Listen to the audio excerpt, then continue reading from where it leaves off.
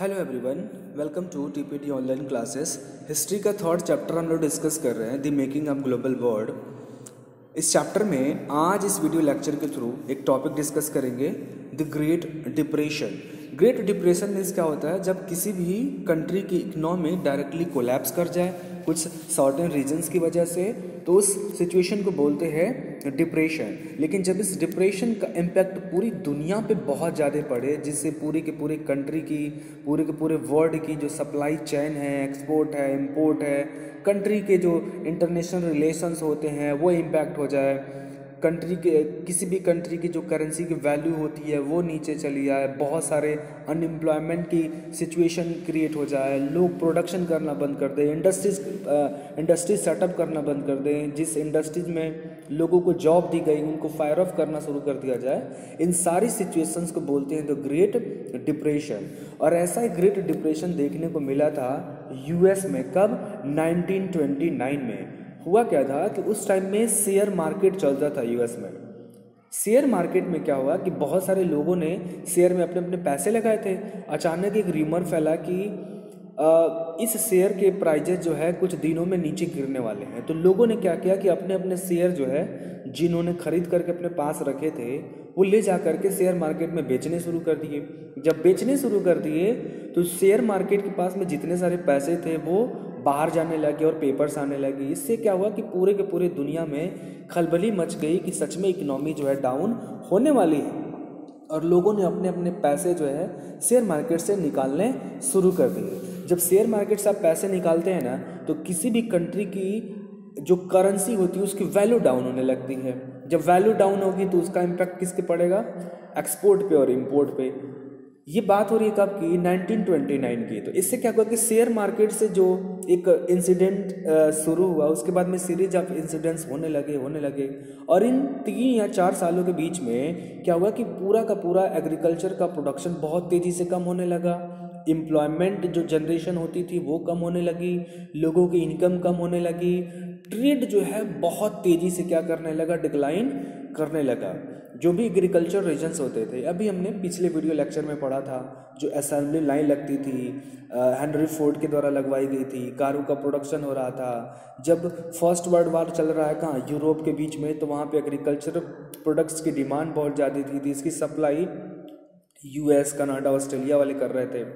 तो यहाँ पे एग्रीकल्चर प्रोड्यूस बहुत ज़्यादा मात्रा में क्या कर रहा था बूम कर रहा था लोगों का बिज़नेस जो है फ्लरिश हो रहा था। कहाँ पे? यूएस में। अचानक से ये सिचुएशन क्रिएट हो गई। कौन सी वाली? ग्रेट डिप्रेशन की ग्रेट डिप्रेशन उन लोगों को लगा कि अब कोई भी कंट्री हमारे जो है प्रोडक्ट्स को खरीदेगी नहीं और ख़रीदेगी भी तो बहुत कम प्राइजेस पे खरीदेगी तो लोगों ने प्रोडक्शन करना बंद कर दिया। इससे क्या हो गया कि एग्रीकल्चर उनकी चौपट हो गई।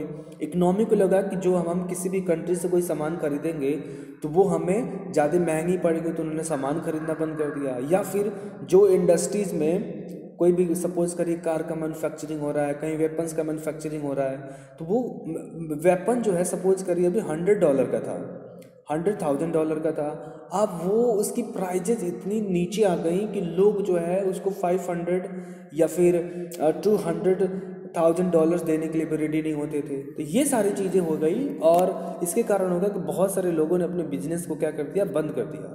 जब बिज़नेस को बंद करेंगे तो कई सारे लोगों की जॉब भी जानी होती है। तो एग्रीकल्चर प्राइजेस इतनी ज़्यादा मात्रा में कम हो गए कि लोगों ने प्रोडक्शन करना बंद कर दिया। जो इंडस्ट्रियल गुड्स होते हैं, इनकी प्राइजेस इतनी ज़्यादा कम हो गई कि उसको, उसका नया मैन्युफैक्चरिंग करना बंद कर दिया गया। जब ये सारा चीज़ यूएस के अंदर में हो रहा था तो लोगों ने क्या किया? अब सोचिए, लोगों का क्या हो रहा है कि लोगों की जब जॉब जाएगी तो उनका तो खर्चा तो डेली का रुकने वाला है नहीं। उनको डेली कुछ ना कुछ पैसे चाहिए होते हैं फैमिली का फैमिली की नीड्स को कंप्लीट करने के लिए, उनके पास में पैसे नहीं है। तो वो पैसे जो है, जितने, कोई भी व्यक्ति जब जॉब करता है कहीं पे भी तो वो अपने एक्स्ट्रा पैसे कहाँ रखता है? बैंकों में। लोगों ने भी क्या किए थे? बैंकों में अपने सारे, ढेर सारे पैसे रखे थे। जब उन लोगों को पता लगा कि हमारी जॉब चली गई है और हमें पैसे की ज़रूरत है तो सारे लोग कहाँ पहुँच गए? बैंकों में। बैंक में पहुँच करके उन्होंने क्या डिमांड करना शुरू कर दिया? उन्होंने डिमांड करना ये शुरू कर दिया कि जो भी हमारी सेविंग्स हैं, वो आप हमें विड्रॉ करके दो। सारे बैंकों में भीड़ लगने लगी।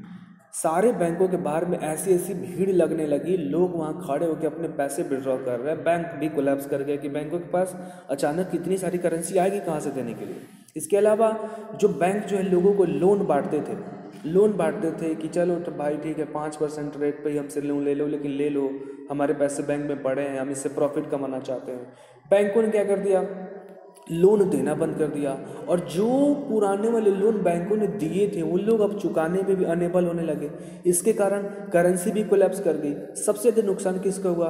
ब्रिटेन की पाउंड स्टर्लिंग को। क्यों? क्योंकि फ़र्स्ट वर्ल्ड वार के दौरान में ब्रिटेन ने यूएस से बहुत ज़्यादा पैसे क्या लिए थे? उधार लिए थे वेपन्स खरीदने के लिए इंडस्ट्रियल गुड्स खरीदने के लिए एग्रीकल्चर प्रोड्यूस खरीदने के लिए, ये सारी चीज़ों को खरीदने के लिए यूएस ने। अब डॉलर की वैल्यू भी कम हो रही है। तो जब डॉलर की वैल्यू कम होगी तो पाउंड स्टर्लिंग की वैल्यू क्या होगी थी? ज़ाहिर सी बात, उनकी कम होनी थी और इनको बहुत ज़्यादा पैसे चुकाने पड़ रहे थे। इनके पास में भी पैसे थे नहीं। लैटिन अमेरिका का क्या हाल था? लैटिन अमेरिका में जब जाएँगे, यानी ब्राज़ील हो गया, वेनेजुएला हो गया, ये फिर नीचे कोलंबिया वाले इलाके हो गए। इन कंट्रीज़ में क्या हो गया कि अगेन यहाँ पे भी एग्रीकल्चर जो रॉ मटेरियल थे, इनके प्राइजेस बहुत हद तक नीचे आ गए। बहुत हद तक नीचे आ गए। तो जब किसी भी प्रोडक्ट के प्राइजेस नीचे आएँगे तो कोई भी नया बिज़नेस करना नहीं चाहता। वो क्या करेगा? अपना बिज़नेस सिंपल सा तरीका उसको बंद कर देगा। इसके अलावा यूएस में क्या हो गया कि जो यूएस में अब चूँकि बहुत सारे सामानों के दाम घट रहे थे डे बाई डे तो यूएस ने क्या किया कि हमारे देश को अपना कोई सामान ना बेचे, इसलिए उन्होंने इम्पोर्ट पे क्या कर दिया? डबल ड्यूटी लगा दी। मान लीजिए कि एक कुंटल किसी चीज़ को खरीदने में, एक कुंटल कोई भी आइटम है उसको खरीदने में, वहाँ पे टेन डॉलर्स का इम्पोर्ट ड्यूटी लगता था।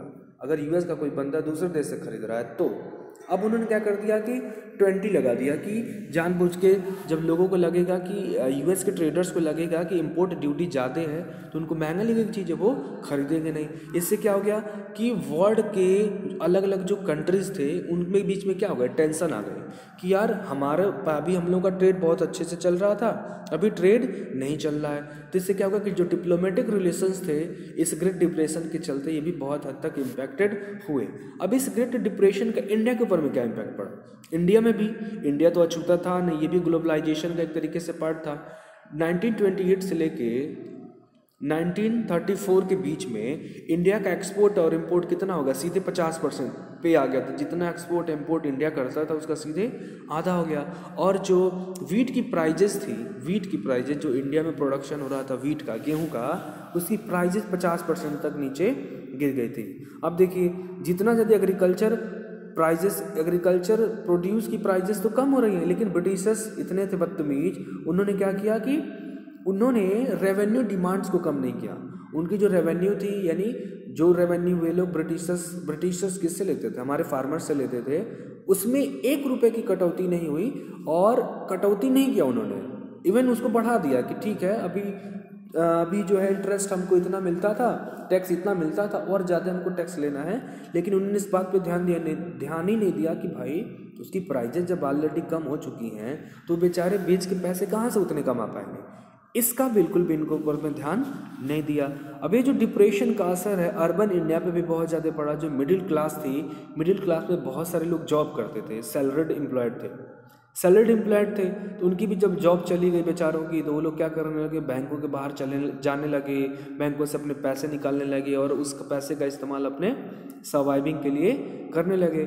यूएस की बैंक ने क्या किया कि जितने भी डोमेस्टिक लैंडिंग वो देते थे, यानी कंट्री के अंदर में जो पहले फ्री में लोन बांटे जाते थे कि हमसे पैसे लीजिए और अपना बिज़नेस स्टार्ट करिए, वो सारे के सारे बिज़नेस उन्होंने बंद करवा दिए, पैसे देने बंद कर दिए यूएस की बैंक ने। और जो लोन इन्होंने यूएस की बैंक ने पहले से बांट रखे थे अनाउंसमेंट करवाया कि अब हमें इंटरेस्ट के साथ में अपने लोन के पैसे चाहिए। वो इसलिए चाहिए कि जिन्होंने अपने सेविंग अकाउंट्स में पैसे हमारे बैंकों में जमा किए हैं, वो बैंकों के बाहर में लाइन लगाए हैं कि उनको उनके पैसे वापस चाहिए। इसलिए हम अपने लोन आपसे वापस मांग रहे हैं। इसके अलावा में क्या होगा कि जो फार्मर्स थे, उन, वो अपना हार्वेस्ट तो बेचारे बेच नहीं सकते थे। उसके ऊपर में बहुत सारे क्लाइमेटिक कंडीशंस लाइक कि कभी बाढ़ आ गया, कभी सूखा पड़ गया।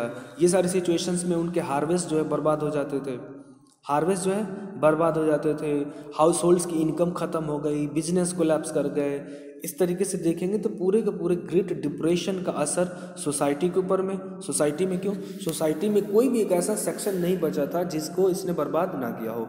पॉलिटिक्स के ऊपर में पॉलिटिक्स क्यों? करेंसी जब डिवैल्यूड हो रही है दो कंट्री के रिलेशन आप ऑलरेडी डैमेज हुए कि नहीं हुए? उसका निगेटिव इम्पैक्ट पड़ा इंटरनेशनल रिलेशन भी चौपट हुए ट्रेड चौपट हुआ। तो यानी यूँ कहें कि जो ग्रेट डिप्रेशन है, इसका असर सोसाइटी के ऊपर में पॉलिटिक्स के ऊपर में और इंटरनेशनल रिलेशंस के ऊपर में बहुत अच्छा खासा पड़ा और ये सारा का सारा इम्पैक्ट जो है निगेटिव ही रहा पॉजिटिव कुछ भी नहीं रहा। ठीक है? तो ये हमने पढ़ा आज इस वीडियो लेक्चर में किसके बारे में? The Great Depression of US के बारे में। थैंक यू अभी के लिए इतना ही।